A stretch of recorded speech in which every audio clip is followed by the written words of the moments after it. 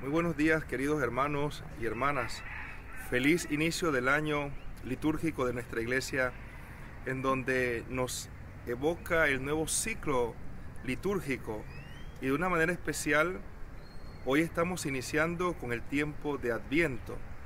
Adviento es estar preparado, estar dispuesto, estar disponible.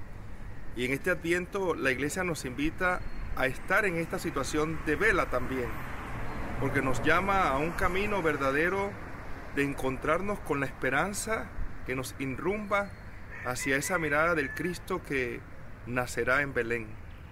Y creo que esta, este momento tan importante que vamos, estamos celebrando en la iglesia, que son cuatro semanas, nos va a ir fundamentando ese camino, primero mirando al profeta Isaías, que es el profeta de la esperanza. Vamos a mirar también a Juan el Bautista, como el camino de la conversión, como la llamada al cambio de actitud de vida que tenemos que tener.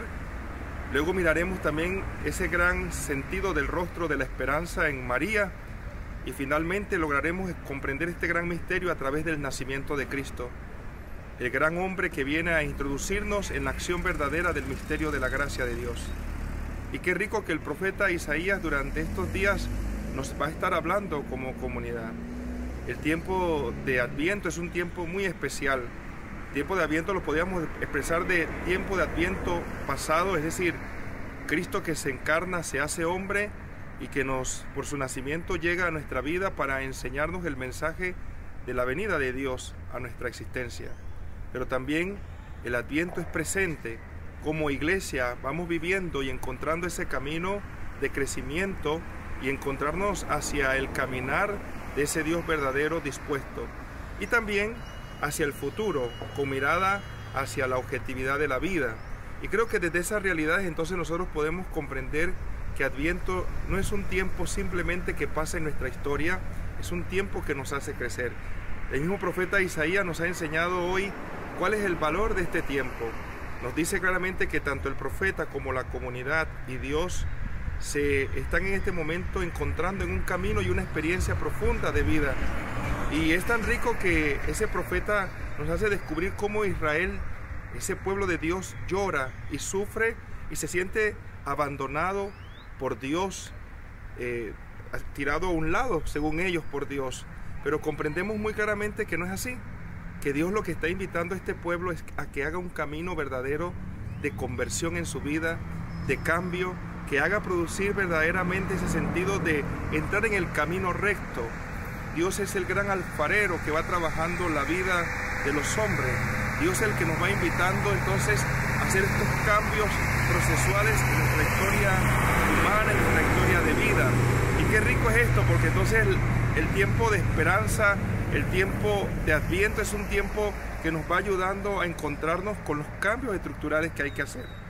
Pablo en la carta a los Corintios, una de las cartas más maravillosas en donde nosotros podemos descubrir algunas cosas, nos invoca a través de la oración de la gracia, esa llamada perfecta que Dios hace hacia nuestra vida, una gracia que se va derramando en la presencia de su Hijo Jesucristo y que nos va haciendo comprender esos dones y esos carismas que se van desarrollando en la vida de la comunidad y cómo ellos van alimentando ese camino de ir perfeccionando la comunidad.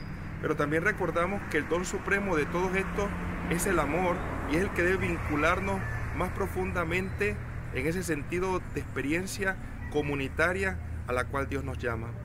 El Evangelio de Marco es un evangelio tan maravilloso que nos narra un hecho tan rico como es el velar.